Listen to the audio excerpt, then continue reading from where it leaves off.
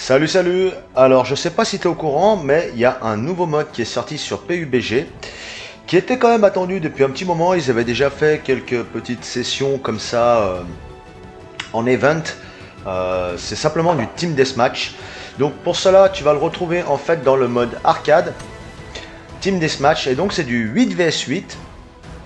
Alors euh, de mémoire il y a 5 maps donc sur ces 5 maps, en fait, tu vas avoir vraiment une toute petite partie de la map sur laquelle tu vas pouvoir jouer. Par exemple sur Air Angel, Sandhawk, voilà, tu vas avoir deux endroits par carte. Hop donc je te disais en fait, donc il y a plusieurs euh, maps. Cette map-ci, elle est quand même pas mal faite pour le snipe. Parce que, tu vois, je vais faire des capites. Et c'est vraiment euh, assez compliqué de jouer euh, en combat rapproché sur cette carte. C'est beaucoup de camps. Donc généralement sur celle-ci, on est plus avantagé quand on est de l'autre côté, là-bas où il y a les gars en face, que de notre côté à nous. Et en sachant aussi que, euh, comme je le disais, c'est beaucoup du, snipe. Et euh, généralement, l'équipe qui gagne, c'est quand même généralement celle qui est euh, le plus campée, du moins sur cette map. Hein. je te le précise sur cette map. Donc voilà, alors les mecs, bien sûr, ça fait deux jours que c'est en ligne. Euh, ils jouent H24 dessus, donc il y en a quand même qui ont déjà atteint un certain niveau. Alors tu vois, quand tu réapparais, c'est comme le bonhomme là, en fait, tu es un peu doré. Et donc tu es en gros euh, invincible. À partir du moment que tu es en version dorée. Après, bien évidemment, tu réapparais normalement.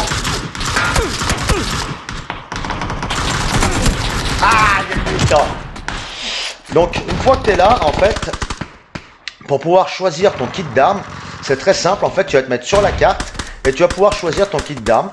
Donc, généralement, il n'y a que le gros fusil qui change.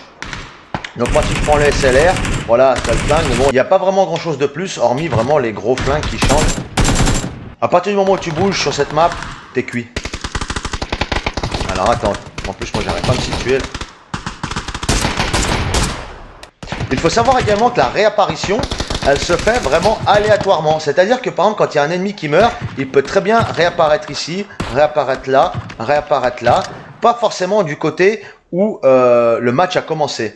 Donc ça, c'est vrai que c'est assez perturbant et assez difficile à gérer, surtout quand tu n'as pas l'habitude du team deathmatch, surtout sur PUBG. C'est assez compliqué.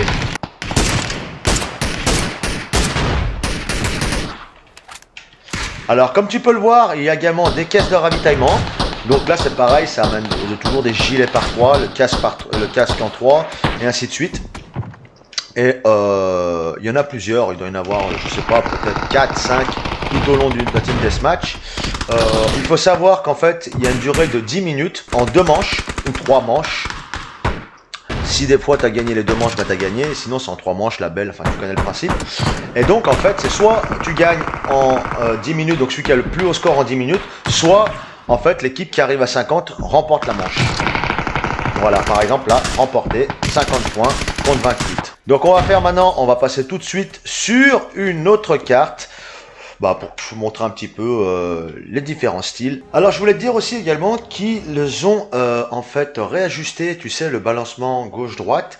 Parce que, pour ceux qui connaissent, en fait, quand tu étais par exemple derrière un arbre ou quelque chose dans le genre, quand tu étais sur le côté droit, quand tu basculais sur le côté droit, tu étais très avantagé par rapport au mec qui était en face qui basculait sur le côté gauche. Donc ils ont réajusté ça, donc c'est à peu près équilibré.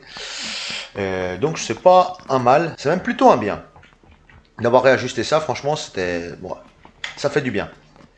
Alors, au niveau de cette carte, par contre, contrairement à l'autre de tout à l'heure, elle est vraiment, vraiment euh, hyper, hyper active. Ça va très, très vite. Ça tire dans tous les sens. Généralement, les mecs, ils ont le réflexe de se mettre sur les bateaux, là. Et également, là-bas derrière, là où il y a le numéro 8 qui passe, là, là-bas. Voilà. Et donc, euh, c'est relativement, relativement rapide.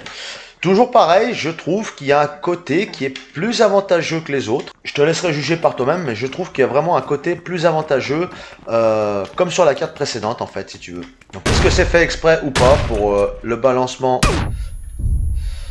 en fait du, du match? Je sais pas. Faut que ce soit un peu équitable, j'en sais pas du tout. Une chose que je tenais à dire aussi, euh, qui rentre vraiment en compte pour le shoot, surtout en team deathmatch, contrairement au mode classique, c'est que euh, si tu veux, ta connexion va rentrer énormément en compte. Moi, il y a des mecs, euh, j'ai pas le temps, j'ai pas le temps d'appuyer. Bon là, là c'est ma faute entre guillemets. Tu vois, les mecs ils apparaissent un peu n'importe où. Mais en fait, j'ai pas le temps d'appuyer. En fait, quand le mec arrive en face, que lui il sort, il attend de viser et de me tirer dessus. Bon, là je joue pas. Hein. il sort, il attend de me tirer dessus, alors que moi je suis déjà en joue. Et le moment où j'appuie, eh ben, en fait je suis déjà mort. Donc là, là en TDM, la connexion va euh, jouer quand même grandement. Ça, je peux te garantir, ça c'est sûr à 200%. J'ai déjà remarqué pas mal de fois. En sachant que moi, ma connexion, bah, c'est de la merde. Hein. Je suis un vieil ADSL de pourri. Normalement, je devrais bientôt avoir la fibre, qui va permettre de faire plus de choses. Mais actuellement, c'est un peu Alors, dans cette mise à jour également... Dans cette mise à jour, euh, ils ont fait en fait... Euh, euh, comment dire bah, Une mise à jour, donc des grenades, au niveau sonore et au niveau de l'impact par rapport au gilet et à l'explosion. Ils ont fait également une mise à jour sur les cocktails Molotov. Donc en gros, ils partent plus loin, les flammes sont plus hautes et elles passent par-dessus les petits objets, contrairement avant où elles étaient bloquées par par ce petit bout de papier. Là, elles arrivent à traverser.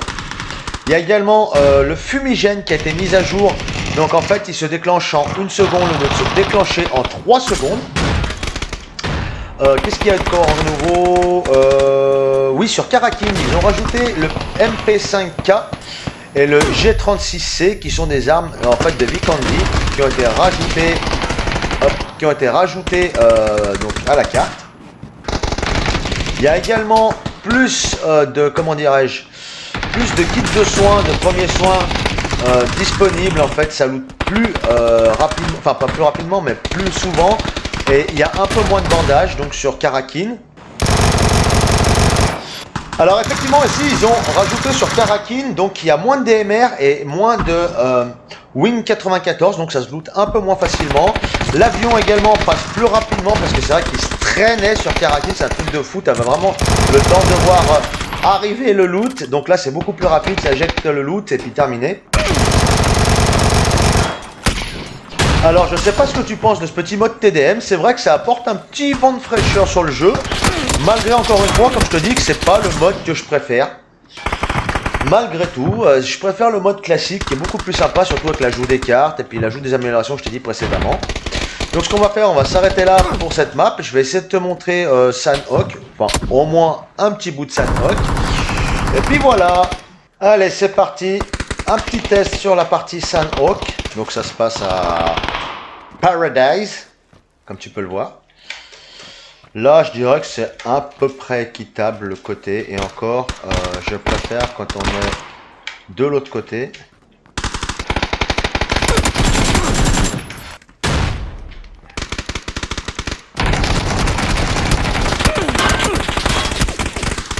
Tu vois, les mecs, il a réapparu par exemple derrière nous là.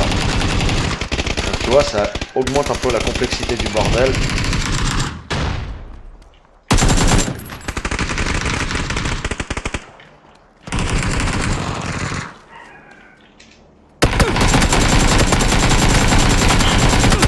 Oh, tu vas pas me dire que je l'ai pas eu là Oh Tu vas pas me dire que je l'ai pas eu oh, Il y a des délires dans le, dans le deathmatch, pas possible, il y a des trucs de fou. Là, t'as pas me dire j'étais pas dedans. Hein.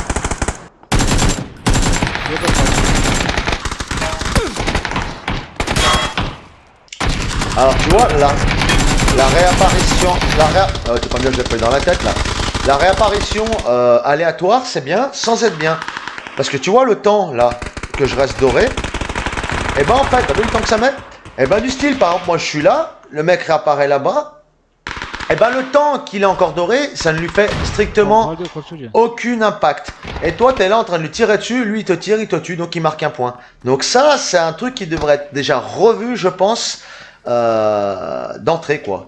C'est pas un bug, c'est une mauvaise fonction, je trouve, un mauvais... Euh, c'est pas fait correctement, on va dire ça comme ça. Je trouve que c'est un peu dommage, ça gâche un peu le jeu. On va pas se le mentir.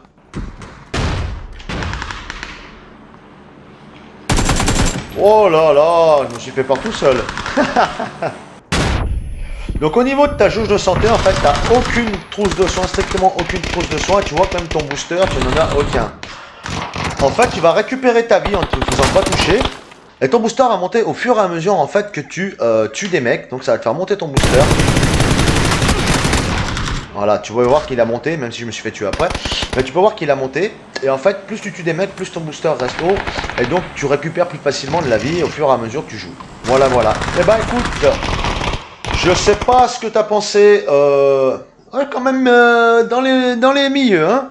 Malgré le fait que euh, je parle en même temps, j'essaie de me concentrer, me concentrer sur ce que je dis et que j'ai le soleil en plein dans l'écran, que je peux pas le fermer vu que je suis en train d'enregistrer. Voilà, elle était amusante cette partie. Euh, donc je sais pas ce que tu penses de ce petit euh, TDM. Moi, comme je te le dis, je trouve que ça amène un petit plus. Je trouve ça relativement sympathique. Euh, malgré quelques défauts, comme je te dis, les réapparitions aléatoires, c'est super, à condition que euh, tu ne sois pas invincible pendant 25 minutes, comme c'est le cas actuellement. Que les cartes soient un peu plus équilibrées, parce que comme je t'ai dit, sur certaines cartes, tu t'en rendras compte par toi-même quand tu vas y jouer. Tu verras que euh, bah, quand tu es d'un côté ou quand tu es de l'autre, eh ben, tu es beaucoup plus avantagé. Et pareil, sur ces mêmes cartes, en fait, ceux qui campent, eh ben, c'est ceux qui gagnent. Bon, bah voilà, hein, je pense qu'on va arrêter la vidéo là, ça a assez duré. Et puis écoute, hein, moi je vais te dire à bientôt pour une prochaine vidéo. Ciao